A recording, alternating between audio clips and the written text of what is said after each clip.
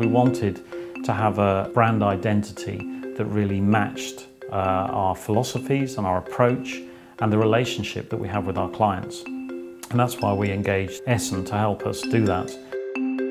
Essen is a branding agency. Uh, branding is basically creating visionary companies.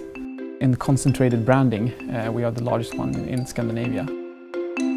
We see Lorensbergs as both very urbane and at the same time local.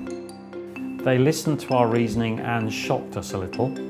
Yeah, when I, when I say a shock, it was um, mostly that we had to let go of things that we felt really, really attached to. The toughest part was to think of who are we and who do we want to be in the future. First of all, we wanted Lorensbergs to stand out of the crowd. We saw pretty soon that the language was the main tool of uh, Lorensbergs. We wanted to make the typography the main brand element.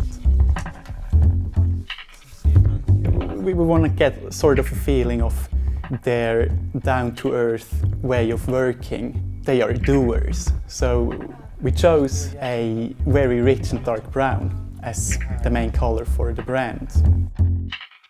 And then we chose the magenta and the orange color that stands for sort of a twist, a fresh element.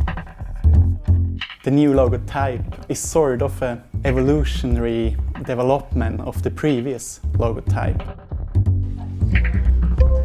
We wanted to create like an illustration style to illustrate messages, icons for Lorensbergs.